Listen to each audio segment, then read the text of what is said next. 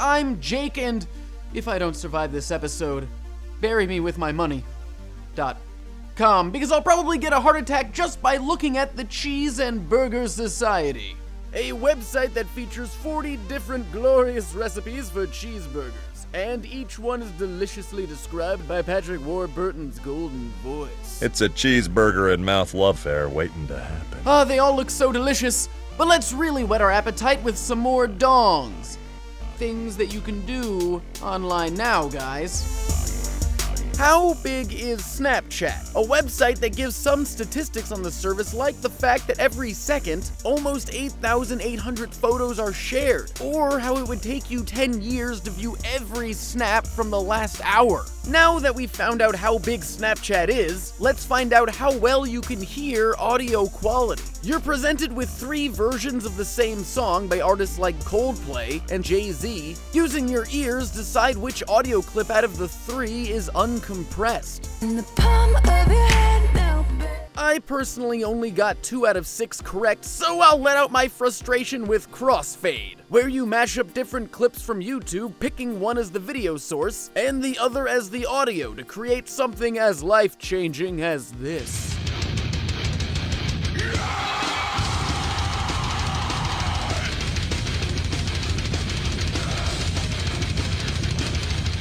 If you need help finding background music, try Magic Transistor, a website where you use an old transistor radio to listen to interesting and rare musical recordings. Now that that radio is working, it's time to plan the next road trip with Roadtrippers. Just put in start and end locations, what kind of things you want to see along the way, and then select the stops you want to make. Ah, boy, I'm having trouble deciding, so I'm going to use Boll, a website for crowdsourcing polls. Simply ask a question, provide the answers, and then let the internet do the rest. Oh, wow, that's a tough decision. Uh, wait, hey, where are you going? Don't try and avoid this important question, you flippin' ninja! A game that has your ninja square body jumping around using magic to change places with a mirror image of yourself. Collect stars and keys to achieve perfection.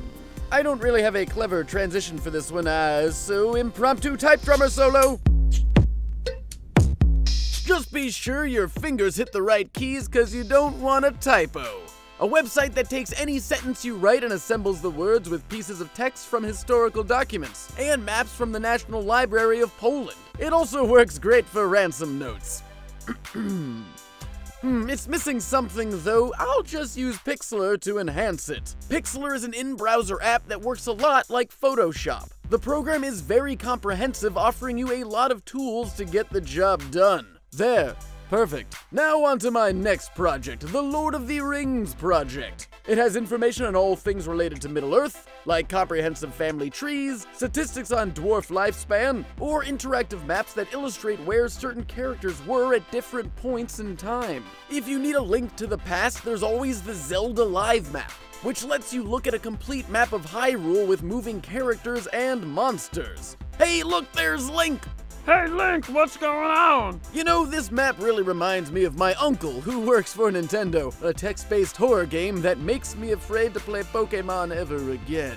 Whew, man, I need to calm my nerves with Finding Home, a chill audiovisual journey in which you move a ball of light over a changing landscape. And since you're thoroughly chilled, now would be a good time to make a flake.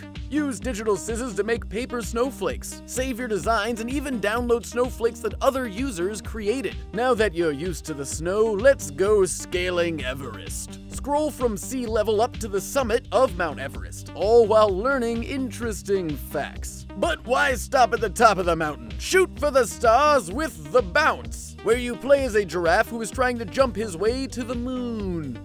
As giraffes do collect stars and avoid asteroids. But instead of avoiding asteroids, be one in The End of Us, an experimental game that was designed to evoke feelings of friendship and attachment. And then make some new friends with ScribbleGrid, where you draw whatever you want inside of a cell on a much larger grid. Navigate to find a private spot for yourself or add to someone else's creation. What's also really cool is that each cell acts as a chat room, allowing you to talk about your work.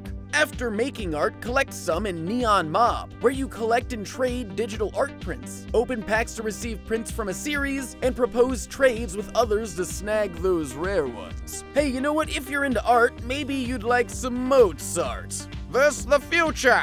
A game in which Jean Pierre goes back in time to kill Mozart and prevent the French Revolution. Double jump and slice your way to victory because no one can stop you from writing your opera.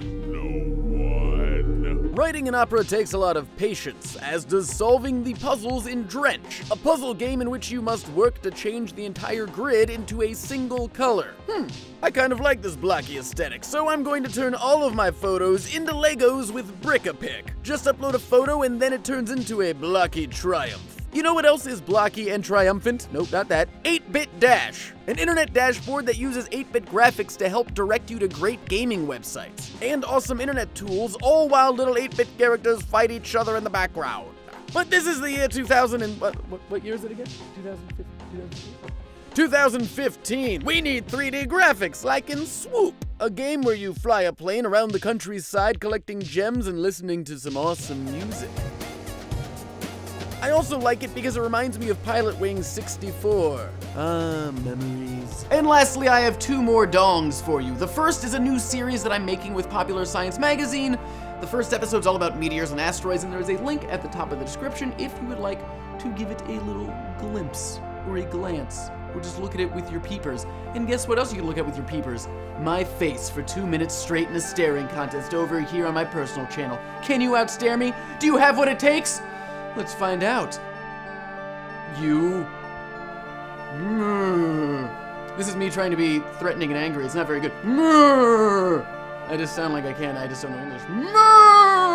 Man, the man from the sea. And as always, thanks for watching.